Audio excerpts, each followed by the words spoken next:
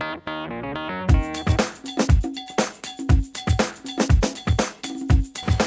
I'm Bridget and I'm the director of Punch Detox in Singapore and I am in the loop. You know, this industry and most industry when something becomes popular, it becomes overpopularized too quickly and it kills itself. Um, the good thing is that I, I, we do see a lot of repeat customers, so which tells me that um, even after all this celebrity and pop culture, people they come back because they feel a difference, not not because of the ad or the celebrity anymore. So um, that to me is a good signal, and hopefully it um, tells me that they will be here to stay. Well, first of all, take it easy. Um, it's it's it's supposed to be a like said, fun challenge. Um, uh, you know, if you manage to go through three days and, and follow everything, great.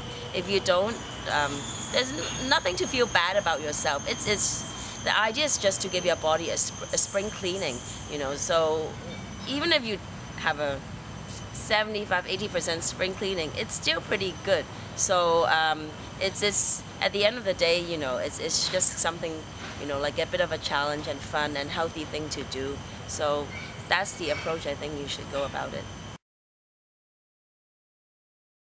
Generally, when you do a detox, we, we think the toxins are released. So, um, and I think, you know, if you're generally already quite healthy, um, uh, going on the juice cleanse will, will feel somewhat of a breeze. Sure. When you have a smoothie, um, everything is uh, put into a blender. So let's say this green juice, it has celery, cucumber, kale, bitter melon, parsley, spirulina, and green apple. And um, imagine all of that in this 500 ml bottle. You get, when you do cold press juice, the pulp is removed. So in this 500 ml bottle, you um, have, I think, almost three, three or four times more um, nutrients than the smoothie. So we, if you're looking for a full nutritional value, um, go for the cold pressed juice. If you are looking for a more filling meal replacement, a smoothie is also a, a good choice.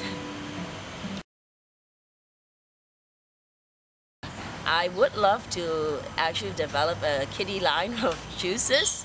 I mean, I think it's great, you know, if the mom has a mommy size and the kid has a kiddie size and they can bring their greens to school and with a lunchbox, I think it's it's it's great. You know, if you start educating your children, uh, developing their taste from a young age, they will uh, actually eventually uh, have this uh, so-called acquired uh, taste for good natural produce instead of having store-bought um, sweetened beverages.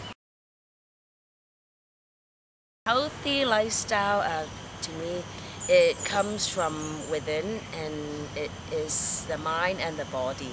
And I think the healthy lifestyle should be something um, sustainable. So um, it is part. It, it, was. It's part of your daily life. You know, from food, healthy exercise to mind. Um, so that to me is, is healthy.